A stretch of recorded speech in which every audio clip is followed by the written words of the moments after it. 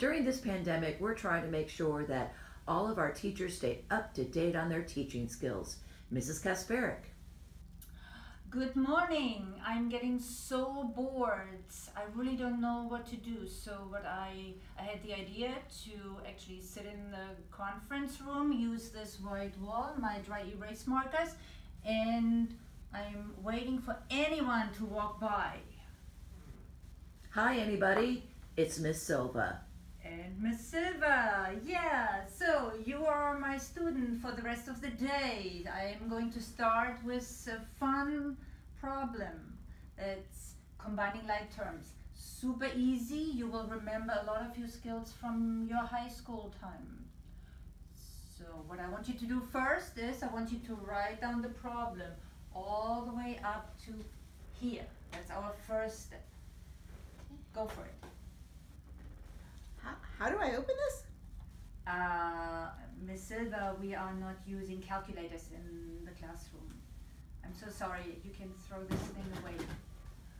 All right, coming back to my, what is that? I would like to see your eyeballs so that I know that you're paying attention, so please take those off. And one more time, starting with, Why such a long equation? Why? Because the whole reason is to make it shorter. Yeah, just to this. It's like Um, funneling it down. I have things to do. You just want to get out of math, so no. I would like for you to sit in, right? 7x minus 3x. Yes. May I just use my phone? Can I use my phone instead? Uh, no Photomath. No Photomath at all. I guess I just have to wait for all of the other students to show up. And here, once again, is an example of one of our teachers trying to stay up to date with her teaching skills. Take it away, Miss Hart. Well, I was so excited because I was going to have some time to read quietly without kids around. So I reread the summer reading book from a few years ago, and I knew Miss Bell had already read it, so I was going to come up here and have a good discussion with her, see if we could learn anything new. Okay? So, Miss Bell, the first step, you know, is you have to understand the book. So, what was the book about? It was very interesting because it was about life as we knew it. Yeah, it was And- and- interesting. It was it was very interesting. Um, it's definitely not life as we know it. It was as we knew it. Okay. Past tense. So the book was interesting. So It's it was very interesting. What was the purpose? Was it persuading or explaining or telling a story? I think you and I both know it was both. It was all. There was there was persuasion, there was explanation, there were highs, there were lows. Emo- I laughed and I cried. I did Everything. Okay. everything. All right. So that's that's why we need to write d- down. So I see you have your Right. book. Did you mark it in the book? I don't see a page where you wrote notes down about the setting, and the I characters. I felt really confident, and I'm gonna be honest with you, it's so up here. it's in your head. It's right here. okay. If I needed to take notes, it'd have been right here. But no, it's uh, just like your diagram. I say I read the book. I do mean I read the book. You do Say mean it. do mean. Oh, okay. So Notice how I got all three of those words in. so where's the part about the su- the climax and the suspense and then the plot? Well, where do you think the climax is? Because there were some parts where, you know, the average student might could be confused. I wasn't. It was such a roller coaster. So just give you Roller coaster. the, give you the multiple choice and you're ready to go. B. Right. I mean, B is my go-to. Right. No Because you question don't need about an it. A. B's I don't need an A. Okay. B's All right. get degrees. Well, then, if you had to explain why the author created that suspense Right. to communicate the theme, what would you say? because he, she, she knew it was going to draw people in like it did me, and sh- like she wrote, you know, it was as we knew it. Okay. Once again, that's past tense. Okay. I'm done with this. The students know better. Hey, good morning. So it's another day to start school, and I think it's a beautiful day. I don't know if you can see, it's very sunny and bright. But anyway, I wanted to show you where my classroom is, because where I've been for the last three weeks, every time I'm teaching you, this is my classroom, and I'm to turn the phone around with me. You see, this is my balcony, and that's where I sit. Those are the tables. I'm surrounded by plants. Every now and then I get to see insects. There, there's carpenter bees that come by. There's wasps. There's lots of lizards and and other animals that come. Lots of birds come by. I get to see my neighbors walk by as they're going to do what they need to do. Very social distancing, but I see people. So anyway, this is my classroom. It's about to start class again. Uh, and it's the fourth week.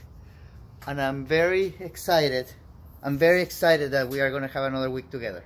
I mean, even if apart, I'm still thinking of you. And I'm still very happy that we get to do this together. I'll, I'll see you in the classroom.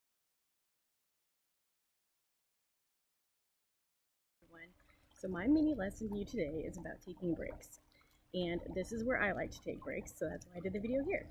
So, because we are in such a weird situation where we're all at home, you have countless amounts of hours in the day to get things done, you're in unusual situations, right?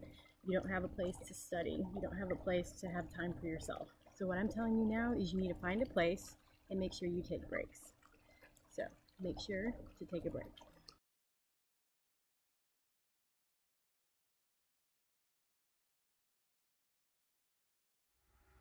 Hi class. I know it's been a while since we've talked about photosynthesis, but I know we remember how it works. So let's take a look at some plants. Last semester, we learned about photosynthesis, and we know that photosynthesis occurs in the cells found in the leaves. Now, each one of these cells that we have in the, the leaves contains organelles called the chloroplast. Now, the chloroplast is responsible for performing photosynthesis. Now, it the chloroplast will need three reactants. It's going to need the sun, which we see shining on the leaves. It's going to need carbon dioxide. Now, the carbon dioxide enters the leaves through the underside. Now, we can't see them. We would need a microscope, but there's tiny little holes underneath the leaf called stomata. Now the stomata are will open up to let the carbon dioxide in. So we said sunshine, carbon dioxide, and another important reactant is water.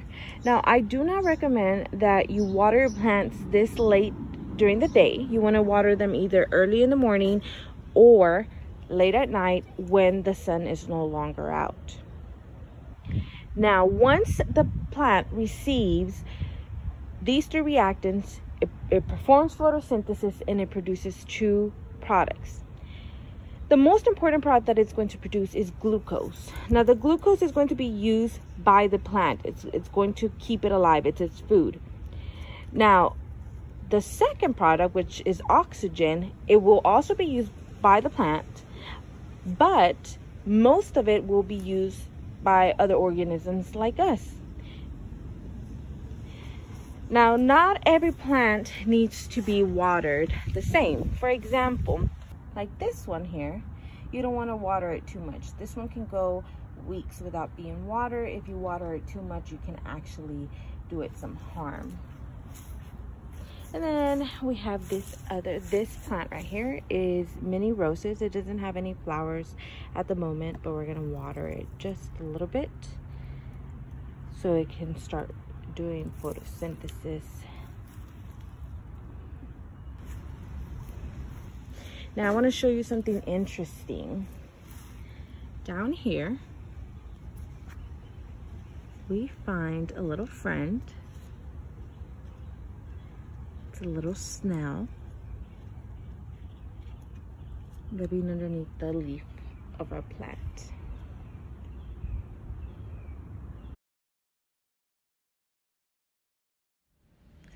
All right, well, here we are at school. Miss Santillan and I have been practicing social distancing, and she does such a great job of keeping her spirits up. She's always in a great mood. Let's check on her. I just want to go outside, Miss Santillan, play. What? you're always in such a great mood. How do you do it? Oh, well, you know, I just think about the kids and think about what they need from me and what I can do to help them, and it just makes me want to absolutely help them as much as I can. Okay, Miss Santillan, how do you really feel? I don't want, I don't want to do this anymore. I want to go home. Do you know it's National Pajamas Day? Why are we not in our pajamas? we should have came to school with our onesies. So do we miss them? Yes. We can't wait for school to be back in session. Cannot wait for that. All right, you want to say bye? Bye. We miss you.